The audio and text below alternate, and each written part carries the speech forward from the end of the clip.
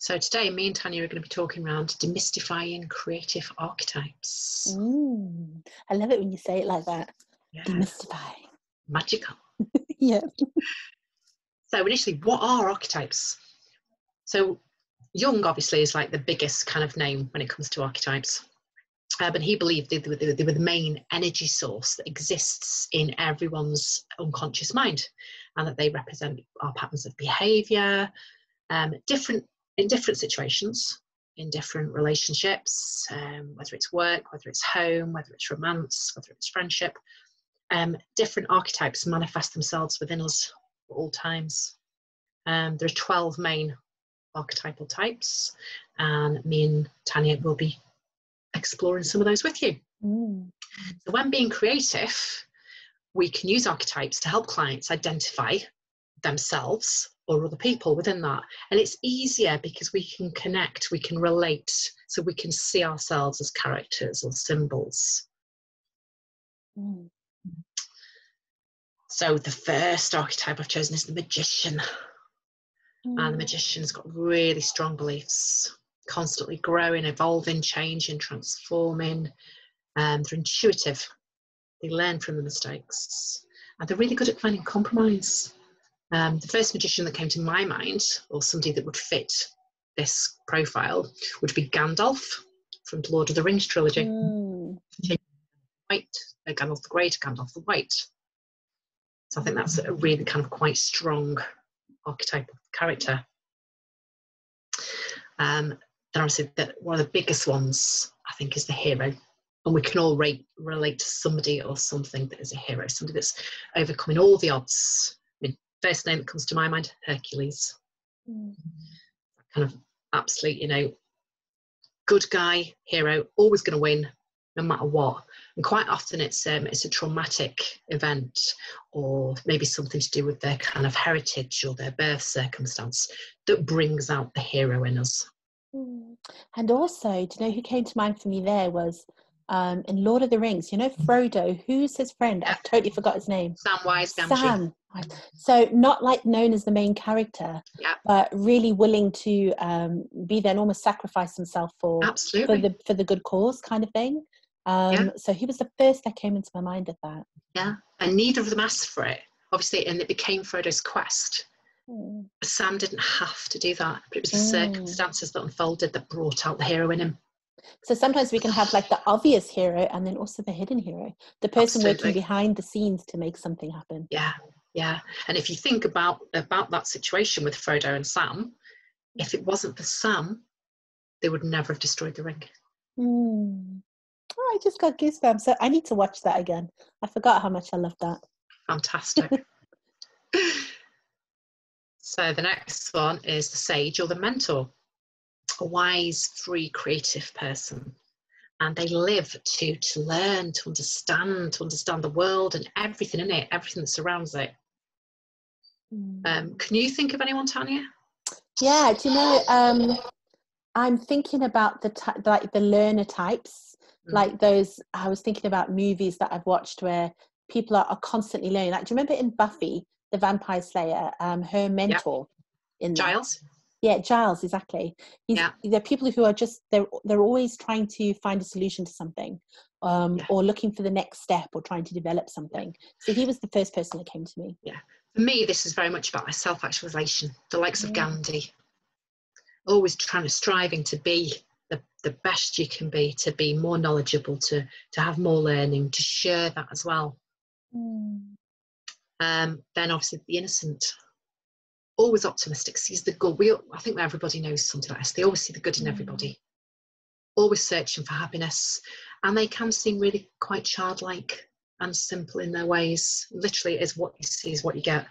Um, a branding for the innocent would be the likes of McDonald's, golden arches. Mm. Oh, that's really interesting. Yeah, just very Yeah. simplistic. You know what it is. Yeah, what you see, what you Um, get. And yet the title yeah. innocent, like I would struggle with that when you put something like Yeah. McDonald's to that, but you can understand the branding. what you see is what you simple. get. Very simple, understanding it. Um, I'm also thinking, uh, I think I know people who definitely fall into this character, I think. Mm. Um, and they almost have an, an innocent look about them as well. like a, a Yeah. way of holding their body and the movement and the words. And um, so, I, yeah, I can really connect with a few people straight away in that. Yeah. I mean, a, a, a fairy tale character would be perhaps Cinderella. Mm. Always want to see the good in everyone and everything, just simply searching to be happy. Mm. So the jester, not taking too, things too seriously, including themselves. So always wanting to laugh, using humour as well to deflect stressful situations. Mm.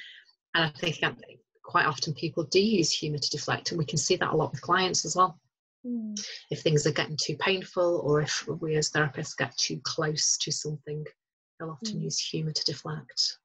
Robin Williams comes to mind with that, Yeah. actually. Mm, Yeah, that there is that shadow so. side to that as well. Yeah, Yeah, yeah. yeah. Um, and all, all of these do have a shadow side. you know, as Mm. we all do. Um, the orphan, feeling hurt and let down, often playing the victim, sometimes pretending to be more innocent than what they actually are. And so that that side again, that shadow side where they can be quite manipulative. So with that as well, I'm feeling like um, when we talk about the orphan as an archetype, it's not that you um, literally had to be an orphan. It was that maybe there's an abandonment, something you feel abandoned, a sense of abandonment and something, of being ignored, maybe. Um, so this is quite a powerful one. I had quite a reaction to this in my stomach. Yeah. Felt like a oh, and a, like a heaviness in my chest to this because it felt like the words felt quite heavy to read Yeah. almost, and uh, but I can really relate to that in lots of Like different ways. It's that sense as well that the world's against them. Mm. Even in relationships as adults, I, I know in relationships, actually, I, I can be the orphan sometimes. Um, if I feel like uh, maybe um, it definitely abandonment or like a lack of trust or um, a lack of respect within a relationship, I can I can turn sometimes to being a little bit manipulative in a way of just wanting a bit of attention from someone. Yeah. Um, so maybe sulking, for instance, or going dead quiet and using that I'm fine approach when I'm really not that That's kind me. of thing. Yeah. So I think I can really relate even in a relationship. That that's Yeah. as an adult. Yeah. So the explorer, somebody that wants freedom to travel, very resourceful, inquisitive, always wanting to push the boundaries, go that one step further. But again, this this can become dangerous. Mm. Um, there's a lot of, um, you know, they, they can. How many times have we had people go into the top of like, you know, Mount Everest, all the bodies that are frozen up there Mm. because it's that just pushing it too far, the risk-taking behaviours that come with that. Um, for me, as soon as I think of explorer, I think of Bear Grylls. Mm. Like first thing comes to my mind, Bear Grylls, kind of wanting to go out there, wanting to explore, um, or Indiana Jones, if you want a kind of you know movie kind of figure. Again, exploring the adventure, the excitement, that adrenaline, adrenaline junkies. Mm. What was that story? The never-ending story. Did you ever watch that? Yeah, Oh, I Yeah, love those characters and the flying dog and Yeah, yeah. They all just Yeah. came to mind when you said that, the explorer. yes, that's Mm. beautiful. Love that. Mm. Yeah. And then obviously we've got rulers, and they're generally born leaders and can provide stability.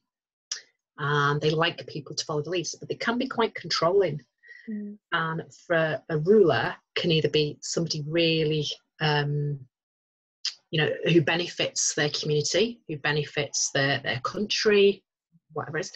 But actually, they can, can become quite tyrannical Mm. as well.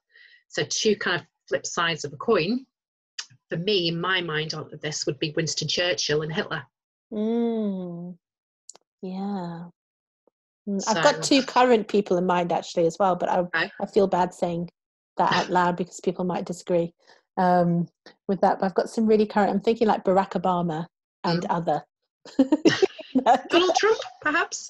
yeah. But yeah, you know, and at the end of the day, that is that's it's our Mm. perception. So when It I just our Winston perception, yeah. Churchill and Hitler, yeah. you know, there might be people that disagree.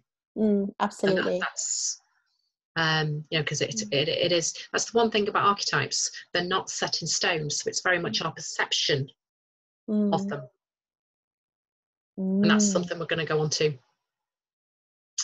so the creator full of ideas massive imagination and really enjoys transforming old things to new mm. really out of the box thinker, self sufficient. And the first person that came to my mind on this was um, Tony Stark um, ah. or Robert Downey ah. Jr. from the uh, Avengers. Mm. Kind of really self sufficient and a mm. little bit arrogant with it as well. Really out of the box thinker, um, huge imagination. But mm. and the downside of the creator can be that perfectionism. Everything has to be perfect. Mm. And that can mm. sometimes really take over. And that can also stop them actually achieving anything because mm. there's that fear that it's not perfect. So that they're always trying to attain that mm. perfection. So nothing is completed. Mm. And also, I'm thinking of like that, you know, when you get in that flow within art and how that nice, that that's really awesome feeling to be in when you're creating something. Um, and also, there can be that um, danger of getting totally lost within that. So, yeah. not wanting to um, take part in normal everyday life at yeah. all. Um, so a distraction kind of something yeah. or dissociation kind of something so yeah, there's there's lots of interesting ways to look at both sides of that yeah losing that connection with other people because mm. they're so absorbed in what they're doing. So there's great kind of minds. Mm. A caregiver, um, I think as well, you know, this, this is one of the real big archetypes.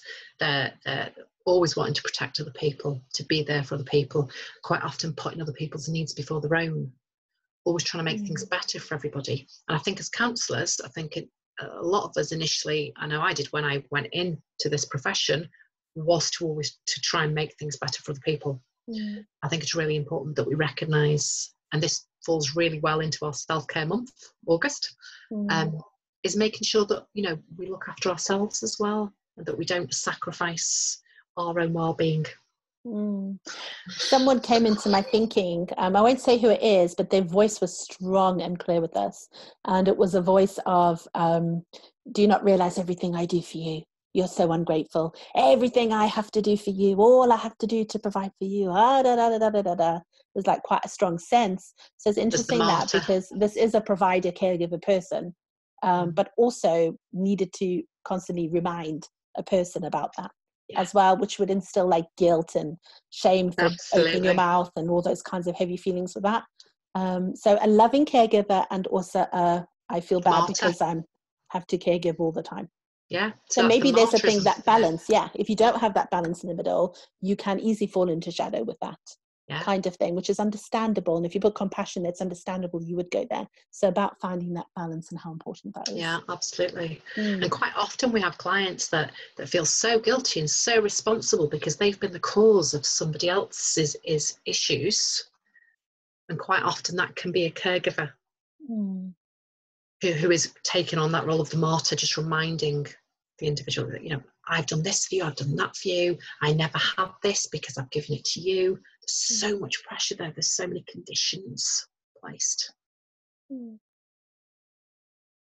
Uh, I mean, obviously, you know, that they don't always become a martyr. Um, I mean, caregiver, I'm thinking, you know, Mother Teresa, mm. straight to my mind. That kind of always wanting to put other people first and really protect people from harm. Mm. Like really gentle. Yeah. The rebel. So really independent. Um, the rebel can actually find it difficult to trust, um, and they can be quite self-destructive. Um, and their behaviours can often be this, so the ends justify the means. Mm. Um, one of the archetypes for the rebel um, is Robin Hood. Ah, mm. So obviously that justification, you know, I'm okay, born into privilege, but actually I don't agree with the institution now, so I'm gonna I'm gonna take from them, and I'm gonna give to them, mm. and I'm gonna justify this, um, because you know I'm doing a good thing at the end of the day. So. Ah. And also, I'm wondering if there's something in this, you know, like social media, right? Mm-hmm. When you've got like um, wars going on between people, and there's always yeah. that kind of ending of, well, it's just my opinion, um, mm-hmm. and it's how I feel, even though maybe your statements have caused some harm to other people in that way. Um, that there's this kind of feeling of it's okay because it's my opinion. Yeah. kind of thing that that would kind of almost fit this um and or if you disagree with something you know in yeah. some way and you want a change of some kind yeah. that you could be quite manipulative in how you bring that change about absolutely how you put other people down and silence other people to bring that about mm. So that's quite interesting. I see yeah. that a lot on social media. Yeah, and obviously another shadow side of the rebel is the fact that that in doing what they feel is justified, innocence can be hurt or harmed mm. within that. Mm. And then we have the lover, passionate, very spontaneous, um, really appreciates beauty in any shape or form. Um, and they really enjoy relationships, they enjoy intimacy, they enjoy that one to one connection with people. Mm. Okay, so creative archetypes. This is the fun bit we were playing with. Yay. so, I mean, there's so many. And, and as we were doing these, more were just coming into my head. Um, and obviously, this, this is our perception of these. And your clients, yourselves, you might have complete, they might mean completely different things. Mm. So the first one, obviously, we did we did the lighthouse, um, and that was very much about being just feeling safe, feeling grounded, feeling protected. And again, the lighthouse itself signifies, like you know, going to shore, going to safety. It's a warning. It's a warning you don't or don't come here. You know, it's not safe here. Mm. That's the whole idea behind it. Rainbow. Obviously, we've had so many beautiful rainbows this week. We had a triple one um, here yesterday, which was just stunning. Mm. And again, if I think about rainbows, for me, it's a very spiritual connection. It's connecting the earth, the heavens, full of positivity, full of promise, new beginnings, potential. You know, when you say that as well, if I think of like a rainbow person type archetype, because they're people, these aren't they? Um, yeah. A rainbow, somebody walks in the room and brings the joy with them. Yeah. Absolutely. They have this kind of sense that, well, this is my own take on this. They have mm. this kind of sense of like, ah, when they're coming in yeah. of like bringing that hope and that positivity and that yeah. fresh beginning mm. and again that's the that's the, the the idea behind rainbow babies isn't it yes it's a baby born after after you've you've lost a baby and the joy that they mm. bring with them obviously can never replace the baby that's mm. been lost but the joy that they bring mm. and the new, mm. new beginnings Oh, that's really warmed. I felt like a ah, such a sense of warmth when yeah. you said that. Which leads us perfectly into Mother Earth you know the goddess the life giver kind of really sensual mm. um whew, yeah i feel quite emotional mm. um and then uh, prince charming mm. you know, is, is he the rescuer is it's that journey from from being a boy mm. to adulthood mm. um which actually leads quite on to peter pan really that kind of peter pan kind of that adolescent that responsible which is the shadow side. The light side, quite playful, fun loving. Um, uh, for me, I, I put the robin as well. For me, the robin is very much kind of spiritual, mystical, very much mm. like the mm. unicorn, very pure. Um, as well, there's that there's that link with with um, my my beliefs with the robin. Um, that that little think the robin redbreast in a cage sets all heaven to a rage mm. um, and i always i always feel that's very very powerful. Mm. and the pot of gold as well. Kind of you know lucky but you've got ambition. You've got this ambition to get to there to get to where you want to be. You've got leprechauns um, which which again leads into the look. So many different creative archetypes. Mm. and this is just a fraction. I mean, we could go on about this all day. Mm. Um, I was thinking about Bear, obviously the owl, very wise, very mystical. Mm. Um, the crow, for me, I think about the crow, the arch- that archetype is quite kind of dark. Mm. Um, so. I also, when you were mentioning about um, the Prince Charming, I thought, what is the opposite, like in a in a divine, like a feminine thing? I was thinking about like a fairy godmother so you know she's very she's there to grant wishes um you know to bring change but could also be quite controlling. You know she has the ability to make change. So in some of the things we watch where there's a fairy godmother she's like no no no you will do this and da da da da, da and this will happen and yeah. something. So there is that light and shadow even with that. And if you look at shrek the fairy godmother actually becomes quite manipulative. She sets her own agenda perfect example. I knew yeah. there was one out there. I just couldn't think of it. Yeah. Another archetype, uh, Sleeping Beauty. Yes. obviously, you know, Sleeping Beauty is, you know, this this um, princess, quite naive, quite innocent, quite gentle, but she can also be seen as somebody that just doesn't want to address mm. what's happening around her. Is she waiting to be rescued all the time as well? Yeah. Mm. Yeah. She doesn't she doesn't want to see the dark side of things. She doesn't want to see, you know, the the evil witch, Maleficent. Mm. Um obviously Maleficent's only evil in that one. Obviously mm. the new remake, she's actually not. Um you know, there's, mm. there's you could you could go on about this for forever. Um, so we invite you to create a representation of an archetype you're drawn to work with. So it can be anyone, anyone that fits any of those 12, one that doesn't, it can be a creative one, it can be one that we already have mentioned. Use any creative medium you're drawn to. Mm. You can use paints, sands, clay, cards, whatever, however you want to do it. Mm. Explore your shadow and your light aspects of that archetype. And we invite you to join us for a reflection next Wednesday at half past six in the membership. Mm. Gorgeous. So. Okay. Ooh.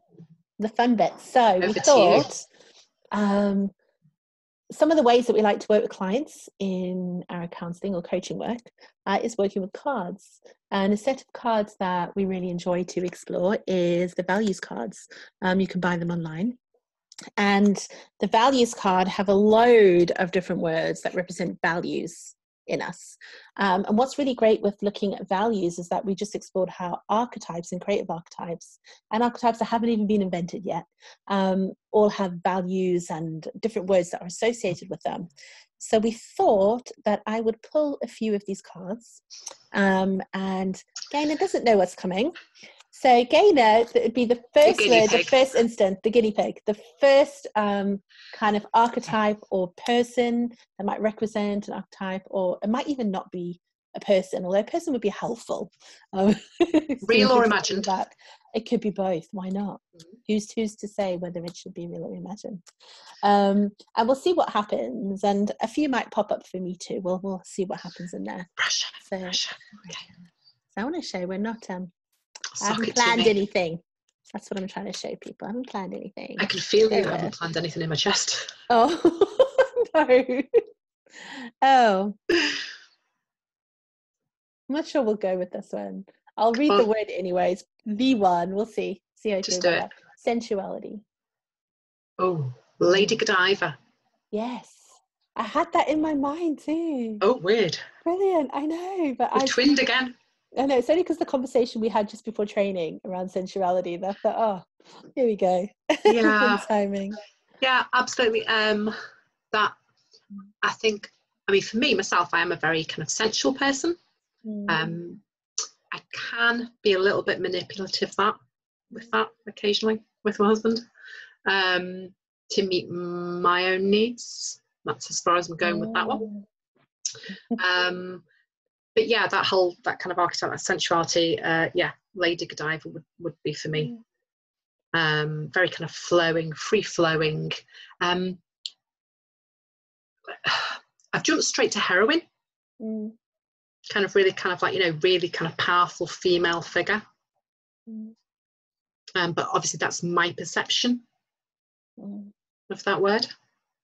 Uh, you know, I can really relate to what you're saying. Many um, heroines or the whole feminine image or divine image in feminism um, does represent, um, you know, like a woman's sensuality in some ways. Yeah.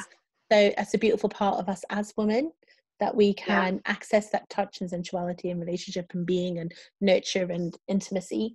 Um, so I really love that. And yeah, I, th- yeah. I think so. It shows how far we've moved mm. over, over the years that women now can actually embrace the sensuality. Mm. You know, it's not it's not seen as something to be frowned upon. Mm. Yes, and I, I, think the stronger um, stronger we've become, I think it really shows how mm. much strength women have have kind of um, grown over the years. Mm. Yeah. Right, let's go. Let's have another look. Okay. See what we got. Encouragement encouragement.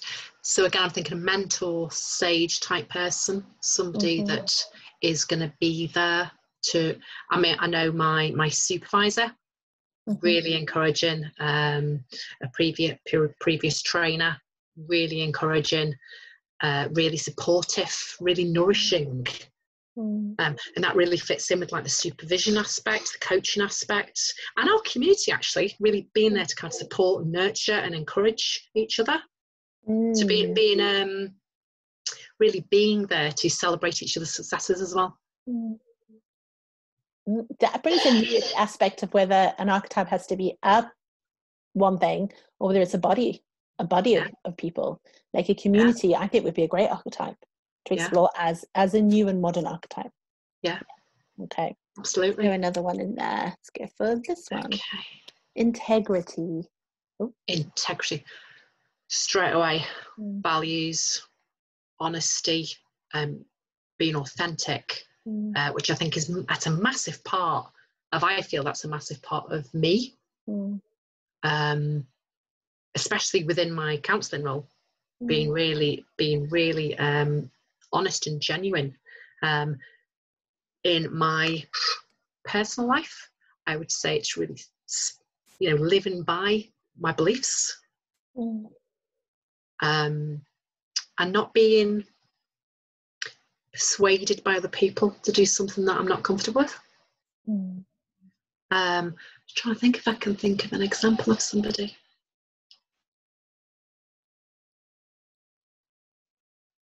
Joan of Arc. Mm, what a powerful example. Yeah. Ah. Joan yeah. of Arc. So yeah. I had a, um, I had Nelson Mandela and Michelle Obama. So there's obviously a leadership something to me that comes in when I think of integrity. Yeah. Um, in that. So yeah, but Joan of Arc, beautiful. Beautiful. Yeah. Okay, let's go for something else. I feel like there's a real feminine theme going through these. There is a bit. I think we sparked that love. in love. Aphrodite. Aphrodite. The epitome. Yeah. Love and sensuality. Mm.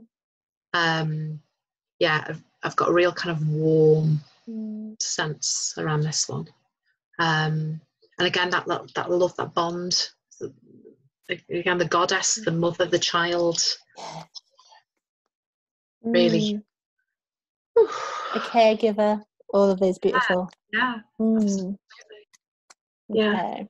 Princess Diana came to mind then. Yes, that's who was in my mind was Princess Diana. Yeah. Yeah. Beautiful. Okay. Independence. Oh, fierce, strong. Mm. Um again, maybe that kind of like an explorer type mm. person, really kind of go, you know, going out there, um, pushing some boundaries, finding mm. their own way. I know I'm quite an independent person. Um, I'm think I'm thinking of Evie. Yeah, Evie. Yeah. Breaking the mold. yeah. Our own Amazon warrior.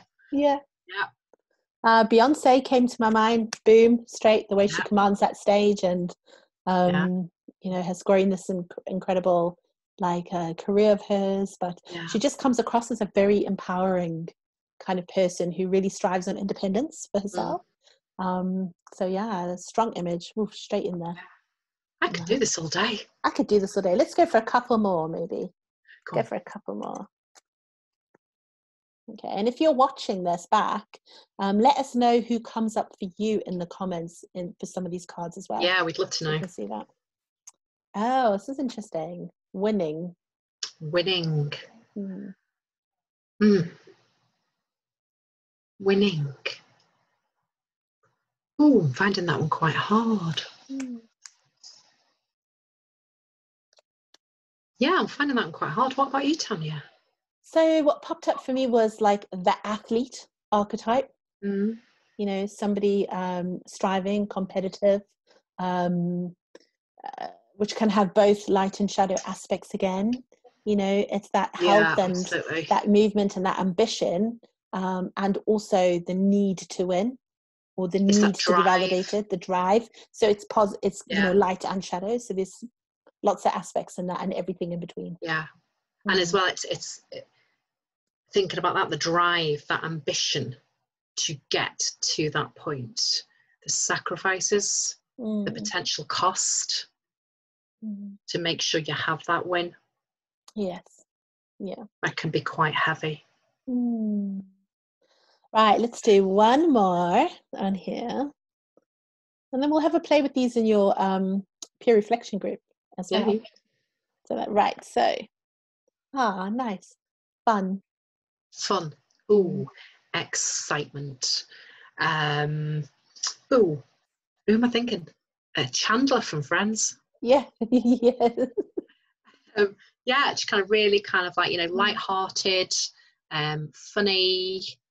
Um, again, I'm kind of feeling that kind of humour, mm. which which can be a deflection from things. So maybe maybe not taking things too serious, but maybe mm. sometimes not taking things seriously enough. Mm. Yeah. a bit of both, bit of both in there. Um, using jokes, using humour to deflect from the seriousness of the mm. situation, mm. um, or to actually just as a defence mm. to kind of mm. keep you know keep themselves safe. Um, yeah, I think uh, I can't think of any. I can't. I know there's loads of people, but I can't actually think of anybody else that comes to mind with that apart from Chandler from Friends. Yeah, and that's a beautiful uh, expression, I think. Um, for me, I think you mentioned the Peter Pan archetype earlier. Mm, so he yeah. popped in into my mind. Um, yeah. That like Peter Pan archetype. But also, I was thinking about, um, yeah, again, you go straight back to fairy godmothers and stuff like that because there is that fun, playful kind of wand like yeah. um, energy. The unicorn can be playful. Yeah.